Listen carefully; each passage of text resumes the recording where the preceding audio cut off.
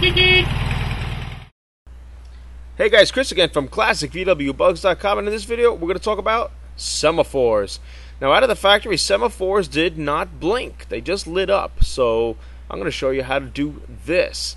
Now, there's a lot of forums online that show you how to make these blink, but in the past, uh, you used to have to add multiple flashers behind your dashboard, some extra wires, and um, you know it, it was complicated and it made things a little more problematic sometimes. But new technology these days has uh, made it simpler. But as you can see, this is an old ad, and uh, the dealerships actually used to have some third-party units that you could have added to your car back in the day, but it's a little complicated to set up. But let me show you the easy way to do this.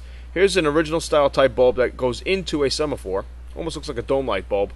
And I found these on eBay with a guy in Australia that made these LED semaphore bulbs, and they're 6 volt, and they're about the same size as the original style bulb.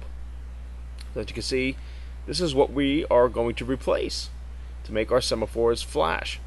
So first uh, we want to disconnect the semaphores. This is the ribbed style semaphores. So basically up until about 53, they had these ribbed or grooved style semaphores on your early Beetles.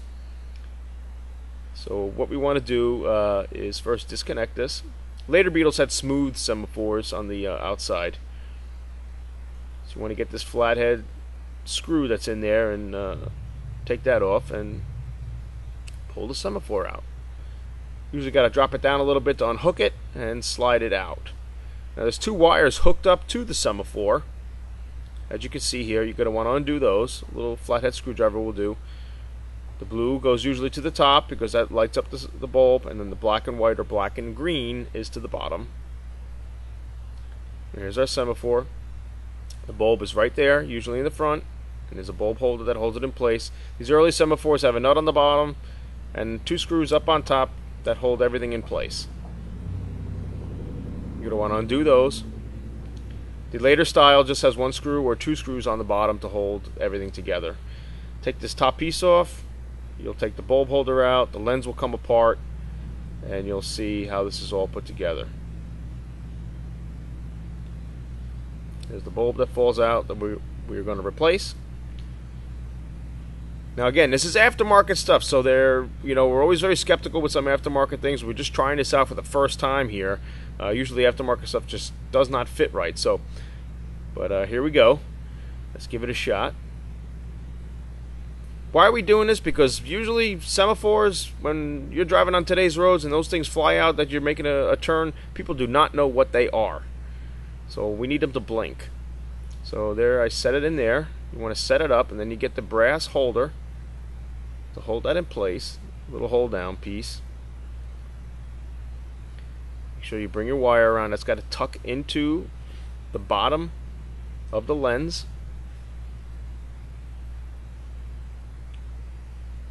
Sometimes it can be kind of finicky. I almost feel like I need like a, an extra set of hands here to help out, but you gotta pull up the semaphore from the unit, and that's got to go below the brass piece on this particular model.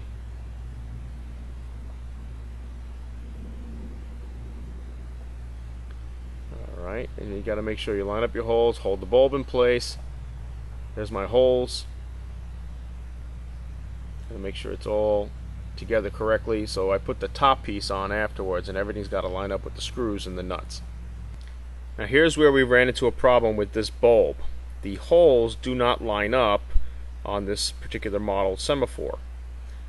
When we pull back to line up the holes, you'll see that the brass piece holding the bulb in the front moves upward and above the lens. Now I can't get the top on it. So we ran into a little bit of a snag there. And when we looked closely, the bulb, the aftermarket bulb, the flasher bulb, is actually a little bit too tall. Just a little bit longer than it's supposed to be. Late model semaphores, it might work okay. I have not tried it yet. This is for earlier semaphores. I you know I picked these up for, but you might run into the same issue. So if you do, you just got to make a little modification, and we're just going to drill a new hole into the brass hole down.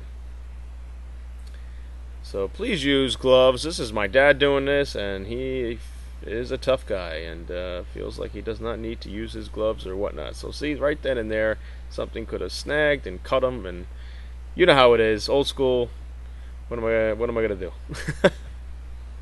So, anyways, we drilled the hole through, and uh, now we can put the holder back into place with the new holes.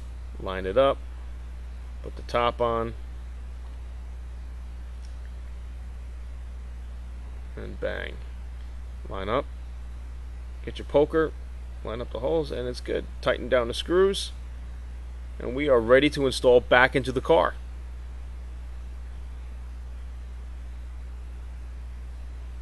You go, how pretty.